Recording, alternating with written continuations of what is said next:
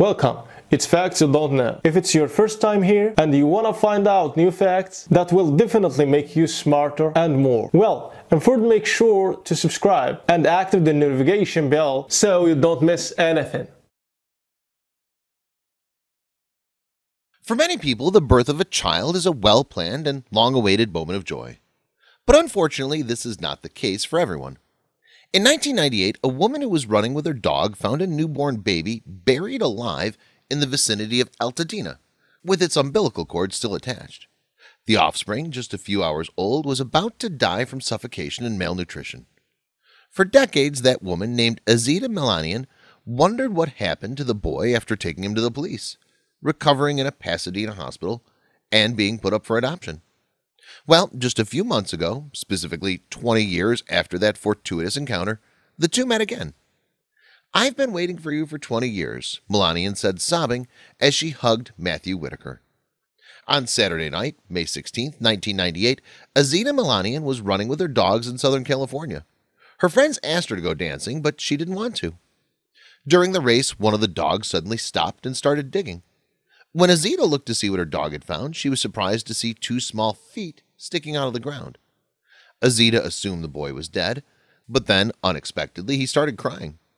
She quickly dug up the newborn, who still had its umbilical cord dangling from its belly button.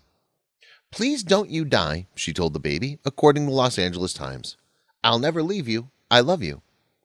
The boy had not only been dumped there, but had also been buried alive. He grabbed my wrist and stopped crying, said Azita. It was very emotional.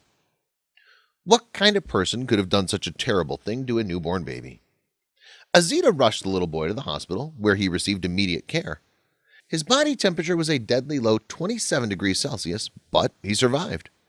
Authorities tried to find the person who abandoned the boy, whom the hospital nurses named Christian, but they couldn't find anything. Police received an anonymous call a month later from a woman claiming to be the mother. She asked what the punishment would be, but then hung up. The authorities suspected that the mother was very young and probably panicked after giving birth and threw the child away. Azita tried to keep up to date on how Christian was doing, but it was no longer possible once the boy was adopted. Azita dreamed that one day she'd see him again, but the years went by and she didn't know anything in 20 years. Fortunately, Christian was adopted into a good family who cared for and loved him and named him Matthew and kept Christian as his middle name. It wasn't until Matthew was 17 that he discovered that his parents were not his biological parents. When he was 20 years old, a radio program learned Matthew's story, contacted him, and asked if he would consider conducting a DNA test and releasing the results. He agreed, and the radio producers also invited Azita, who they discovered while researching the story. The reunion was wonderful, and Azita could finally breathe a sigh of relief, knowing that the baby that she saved so many years ago had been adopted by a good family. Matthew said he couldn't imagine a better education than the one he received. I'm here today. I've lived a great life, Matthew told the Los Angeles Times. I was adopted into a great family. I couldn't ask my parents for more.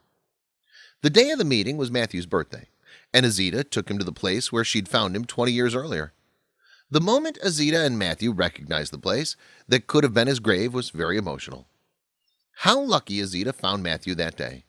Otherwise, he probably wouldn't have survived. Thanks for watching.